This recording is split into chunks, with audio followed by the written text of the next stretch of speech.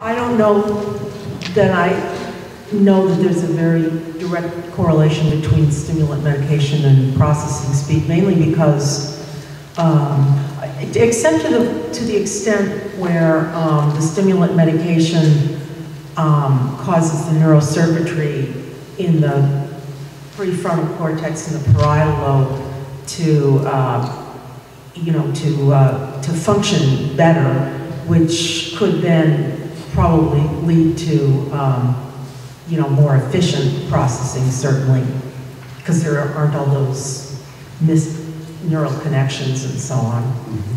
Yeah, yeah, I don't know. I, I, I didn't come across anything that said, okay, stimulant medication increases processing speed.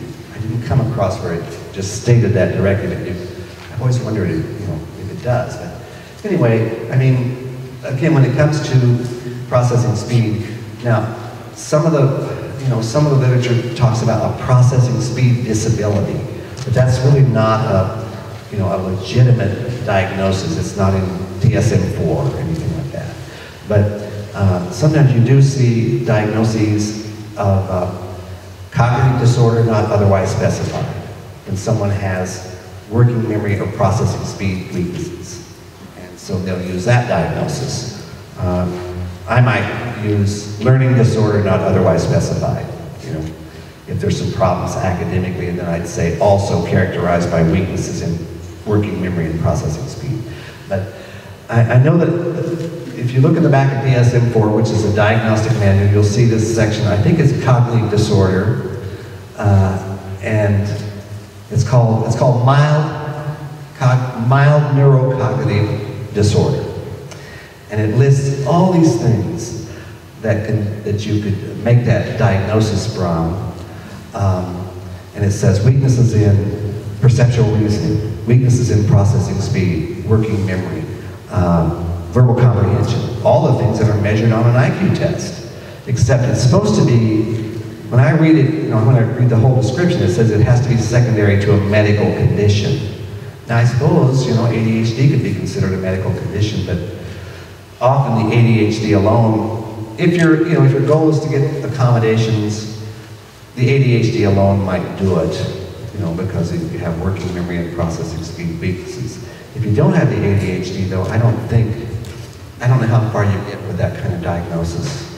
Again, Ellen, what's your experience with mild neurocognitive disorder? Characterized by weaknesses in working memory and processing speed. You mean in terms of response to stimulant meds? No. Or just, just, No, no, in- response to it being considered a diagnosis that would warrant uh, an intervention, like a uh, accommodation plan in school or at the other than extended time, I'm not sure, um, I'm not sure. Okay, I just wondered. It's possible with, with poor working memory and slow, with slow processors, it, that can significantly interfere with reading comprehension, even though um, the individual may well decode, you know, the words well. But uh, that, that person might benefit from, say, a text reader, um, which is a computer software that will uh, literally read text, uh, that's scan text, digital text, and, and read it out loud. That can sometimes bridge that gap. Okay. Well, so, so then when you think about, when you think about, you know, interventions or recommendations for processing speed, that is one of them, that, that, a particularly good one, using a text reader. Um, but you know, of course they need more time to respond orally in class and to complete seat work and to complete assignments. And you know, overall, you just need to reduce the time pressure if you want to find out what they know. Now, of course, if you're testing math fluency, how fast they can do math facts, you know, that's what you're measuring. But usually it'd be good just to have them compete against themselves or do it separately. Um, but you know, it may need, it may require things like shortening assignments, and it may be that the parent has to negotiate with the teacher if they're taking five hours doing homework, and say, you know, really, maybe they need to have, um, let's let's focus on quality over quantity, unless, or if they show mastery of certain skills, let's not require this repetitive work, or they don't have to do 46 problems, they can do, you know, 15 or 20. Um, so shortening the practice assignments. Um, and once again, you know, building the, building the efficiency by making them uh, as much as possible automatic by teaching math facts and spelling rules and the vocabulary that goes along with a certain um, you know, subject area, uh, and working on increasing reading speed uh, by you know, repeated readings or using auditory uh, programs where they have to listen as they read along, like they use Read Naturally, that's been around for years. Um, reading lists of high frequency words and keeping a record of their progress, so you're trying to build uh, uh, speed of word recognition and practicing the math facts, using educational software.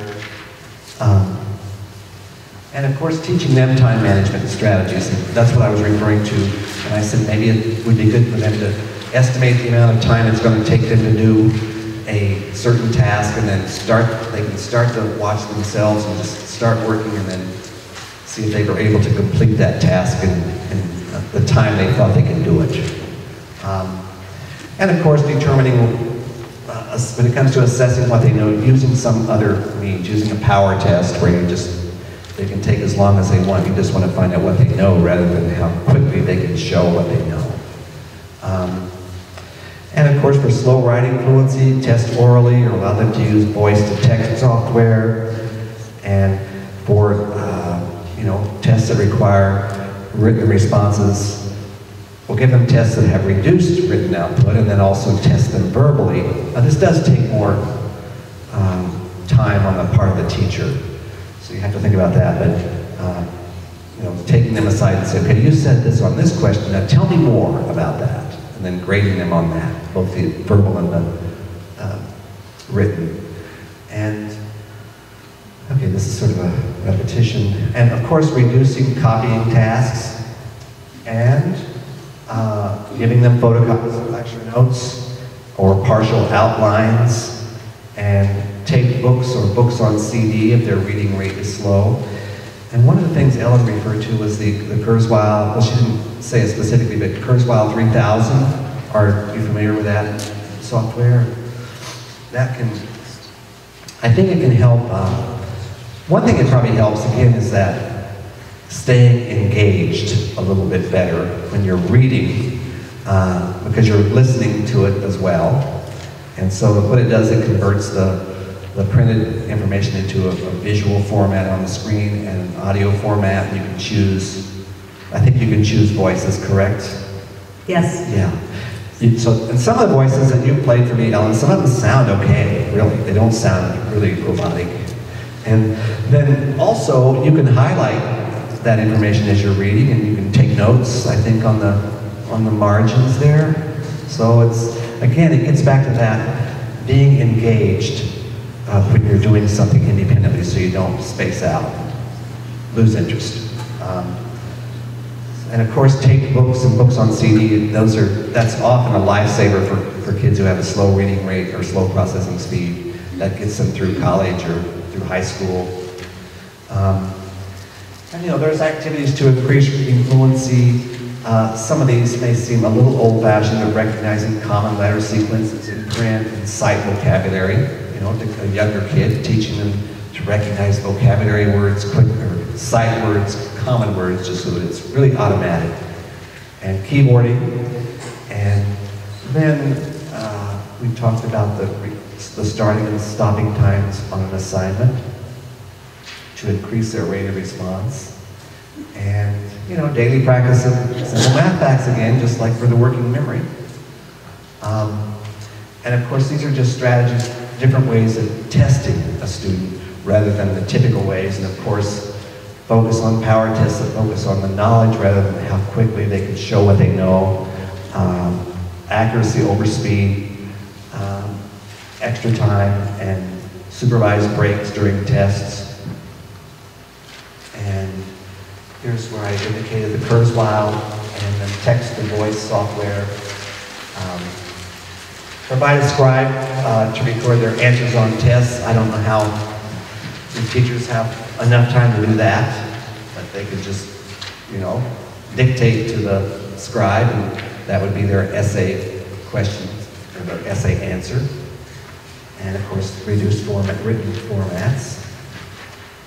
And so, those are uh, some of the things that, that may address the processing speed part of it. And, you know, as I said before, a big part of the processing